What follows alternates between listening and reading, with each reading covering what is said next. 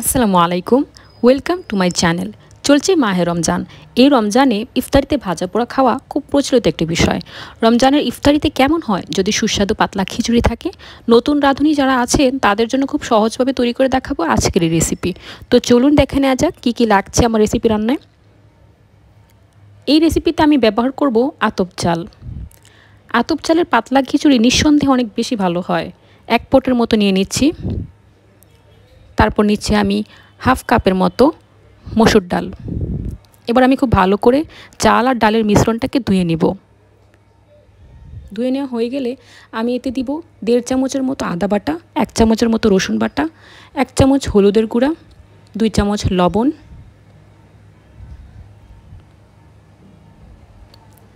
দিচ্ছি এক চামচের মতো জিরা গুঁড়া, এক চামচ ধনে গুঁড়া ও এক চামচ মরিচের গুঁড়া। দিচ্ছি ছোট সাইজের তিনটি তেজপাতা, দিচ্ছি একটি পেঁয়াজের কুচি, নিয়েছি ছয়টি মাঝারি সাইজের বগুড়ার আলু। আমি আলুগুলোকে একটু বড় সাইজ করে কেটে নিচ্ছি। এটাকে ঠিক কিউব আকৃতি বলা যায় না। আপনারা একটু দেখে নেবেন। একটু বড় করে আলুগুলো দিলে খিচুড়িতে খুবই ভালো লাগে। শীতকালে আপনারা চাইলে বিভিন্ন রকমের সবজি অ্যাড করতে পারেন। বাসায় যদি আরও সবজি থাকে সেটা অ্যাড করতে পারেন। কোনো সমস্যা নেই। আলুগুলো আমি দিয়ে দিচ্ছি। এবার আমি এখানে দেড় লিটারের মতো পানি দিয়ে দিচ্ছি। পাতলা খিচুড়ি রান্নায় পানি একটু বেশি পরিমাণে ব্যবহার করতে হয়, এটা আমরা সকলেই জানি। এবার আমি চুলায় বসিয়ে দিব।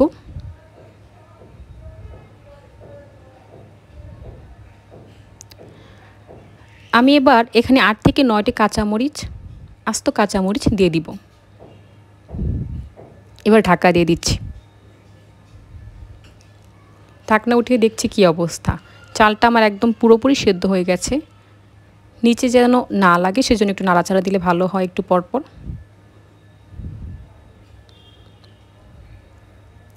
এবার আমি ডাল ঘুটনি দিয়ে সুন্দর করে ঘুটে নিব। চালটা একদম মিহি হয়ে গেলে খিচুড়িটা খেতে খুব ভালো লাগে। খুব মিহি করে ঘুটে নিব। এবার আমি অন্য একটা প্যানে সুন্দরভাবে প্রায় হাফ কাপের মতো সরিষার তেল দিয়ে এতে অর্ধেকটা রসুন কুচি এবং একটি পেঁয়াজ কুচি ভেজে নিব। রসুনটা একটু আগে দিলে ভালো হয়, তাহলে সেন্টটা একটু ভালো আসে। ব্রাউন কালার হয়ে গেলে আমি এতে খিচুড়ির সাথে মিক্স করে নিব। সুন্দর করে মিক্স করে নিতে হবে এবং নিচে যেন না লাগে, সেজন্য খেয়াল রাখতে হবে। নিচে লেগে গেলে কিন্তু টেস্ট ভালো আসবে না। এই পর্যায়ে আমি দিয়ে দিচ্ছি দুইটি মাঝারি সাইজের টমেটো, কিউব করে কাটা। এটাকে কিউব বলা যায় না একটু বড় করে কাটা। আমি যদি আগে দিতাম তাহলে টমেটোটা একটু গলে যেত, যেটা ভালো লাগতো না। একটু আস্ত থাকলে টকটক লাগে, ভালো লাগে। এই পর্যায়ে দিয়ে দিচ্ছি ধনে পাতা কুচি। সুন্দর করে মিক্স করে নিব।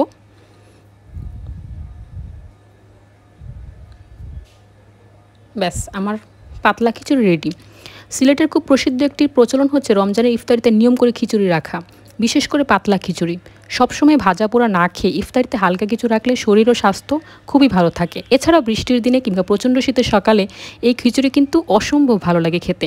আশা করি রেসিপিটি আপনাদের খুবই ভালো লেগেছে। ভালো লাগলে লাইক, কমেন্ট ও সাবস্ক্রাইব করতে ভুলবেন না। প্লিজ আমার সাথে থাকবেন। ধন্যবাদ, আসসালামু আলাইকুম।